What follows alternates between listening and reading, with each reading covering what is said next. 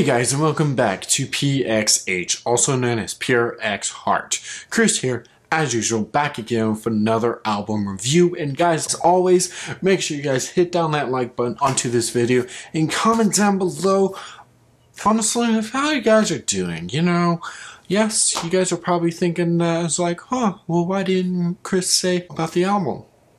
Well, you know, comment down below about how you guys are doing. You know, hopefully you guys are doing great. Comment down below. Or if you're not doing great, then comment down below. But speaking of those that, uh, uh, you know, want to comment down below about that album, then, you know, maybe comment down below about this album, what you guys thought about this album was.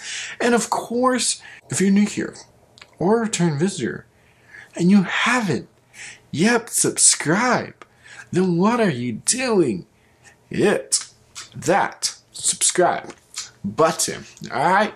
Guys been doing really, really well with hitting that subscribe button. But you know, if you're new or a returning visitor and you're not hitting that subscribe button, then what you doing, man? It's super easy. It's just right there. But anyway, let's get into it.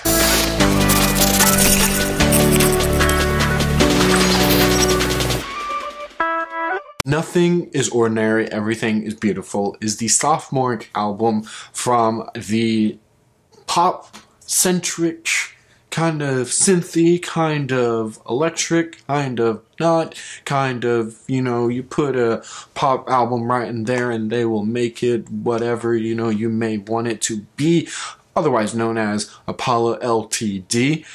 Now, I've actually been listening to Apollo LTD ever since their first signal. It was actually a really interesting thing with Apollo LTD that I either posted something on my story on Instagram or I posted something on Instagram, and then all of a sudden I just see Apollo LTD has looked at this. I was like, hmm, was that? I saw some of their stuff, and with their first signal that came out, I was like, oh, that's actually not that bad. So I kind of been following them ever since on Instagram, just because you know I, you know, it's just like, huh, this is actually not that bad band. And and I actually really do enjoy their first album, Out of the Body, which you know is a little bit of more my style. It has that synth pop type of mix that I really, really do enjoy about a lot of bands that, you know, needs to be done with a lot of Christian music.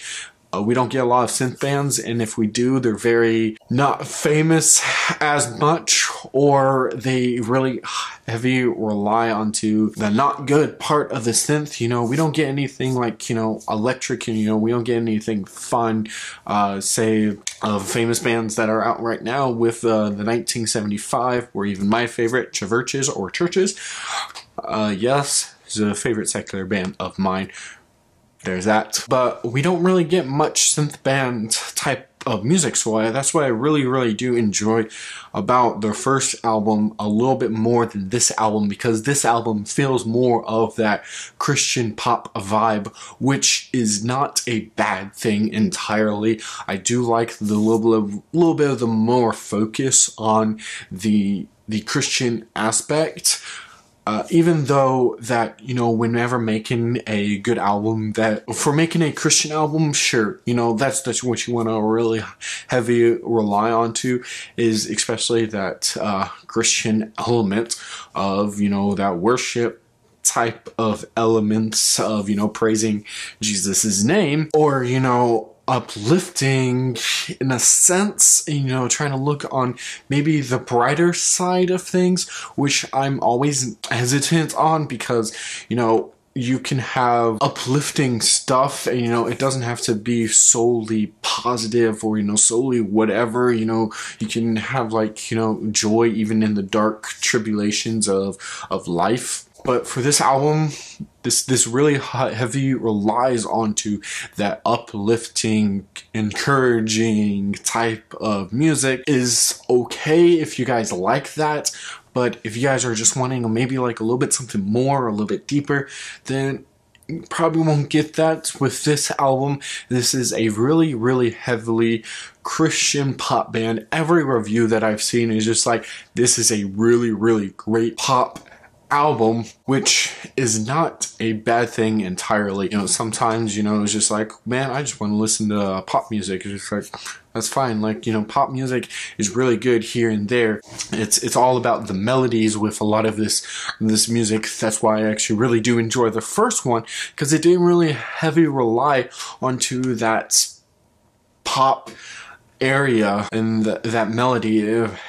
Like, you know, you could see their influences with a little more of the secular bands, uh, which actually a lot of Christian review sites, like they basically kind of put that down on, where it's just like, well, is it really a Christian album or is it like more of a secular album? Which again, that is fine. You know, it's always that blurred line of what is a Christian album and what is not a Christian album. This one does feel a little bit, again, more like the the Christian pop album, for example, songs like, because I'm actually finally getting to the songs, or songs like Sunday Morning Feeling, which features Ryan, Ryan Stevenson, uh, Good Day, which features Social Club Misfits, songs like Patient, songs like You, songs like Soldier On, songs like Tears into Diamonds, really, really hammer on this fact, and even really the little bit of the emotional side of Heart Believes.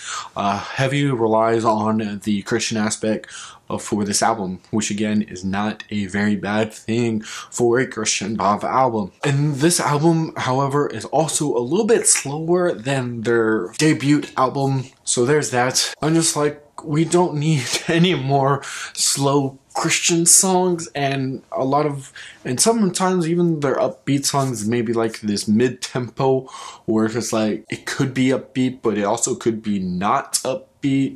So there's that. It's more like this mid-tempo vibe, which is really interesting.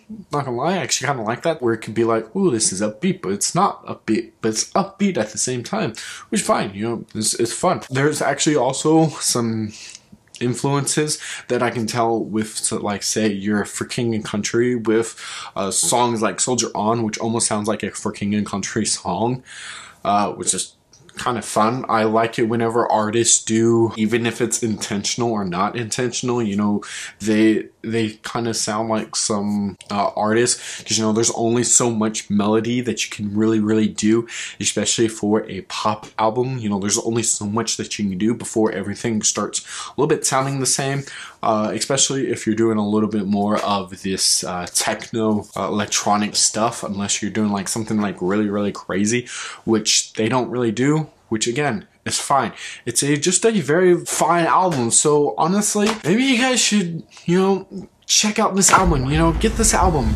Again, this is not a very, very bad album. It's a very, really, really nice album. I think the lyrics are what drives home this album, even for it being a pop album, because again, it's a good really great pop album. There's not a lot of stuff that is cringeworthy. There's stuff that, you know, is encouraging for you, but isn't like bad encouraging, is isn't like waha. You know, it's nice, you know, to have some encouraging music here and there, uh, especially for this day and age that we live in, which again is this today's world, which either it could be like yesterday's world or, you know, tomorrow's world. It'd still be all the same, okay? Nothing has changed that. Just wish it was a little bit more upbeat and you know they they went to a little bit more of the synth pop esque. Again, that's still my own personal flavor, so I kind of like that they did change it up a little bit. So there's that. But of course, if you guys would, leave a like onto this video and also comment down below what you guys thought about this album. Also, don't forget to comment down below of how you guys are doing. Uh, whether it be good, bad, or whatever, you know. Comment down below. And speaking of different options that you can do, comment down below also what you guys want me to review, whether it be in the future, past, present, you guys name it, put it down in those comments and I will get to it. And uh, speaking of more options, it can be music, movies, topics, you guys name it, and I will get to it. And of course, if you're new here or a return visitor and you haven't even subscribed yet, what are you doing? hit that subscribe button. It's probably a long enough video for you guys to hit that subscribe button, make you guys leave and be like, uh, no, I don't want to listen to that guy anymore. Be like, okay, well, cool, cool, cool, cool, cool, cool, cool, cool. cool. But for those that did stay, remember to go all of Jesus and change the culture. Boom. Bye.